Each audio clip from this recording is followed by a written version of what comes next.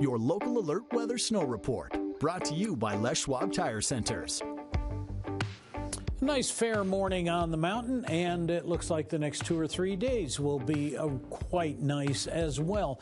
They'll see the clouds close in uh, Thursday and give them a chance of some rain Thursday. That turns to snow Thursday night as this system gets colder.